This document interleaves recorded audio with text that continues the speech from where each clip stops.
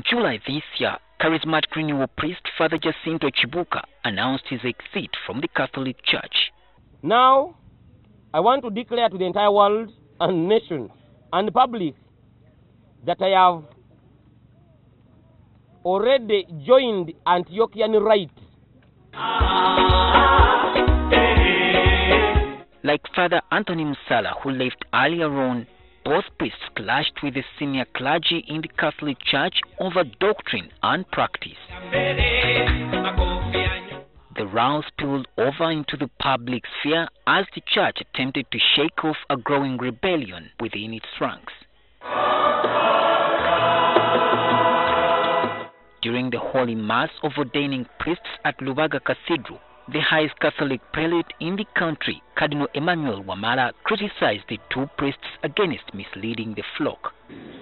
ekisooka mu kereziya katolika temuli denominations mu kereziya katolika temuli ntenderezo oba kibiina mukkiriza kyayita ekikye bwe kiba nga kyakwetabamu abalala The Kampala Archbishop Cyprian Kizito Lwanga led the Holy Mass of ordaining 12 priests and 10 deacons.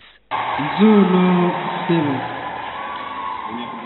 mwagala mbasseeko emikono mufune mwoyo mutuukirivu mwawulibwe era muweereze ekiriziya njagala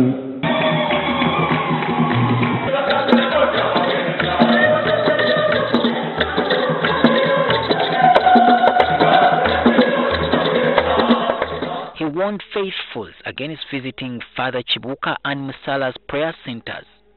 ebifaananyi tubirina abakuba ebifaananyi nga gye bali. Naye basobola okuba babadde tebamanyi. Naye k'ogenda okweyunga ku muntu eyeebodde mu ekereziya agivuma akola atya naawe oba okoze eki weebodde okusala okuva mu laiti emu ogenda mu ndala bwe ziba nga ze ze ziri wansi wa paapa tolanga bulanzi ku muzindaalo.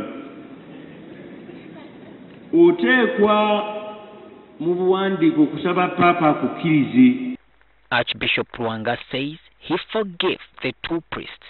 fatha musala ne kibuuka nabo mbasonyiye.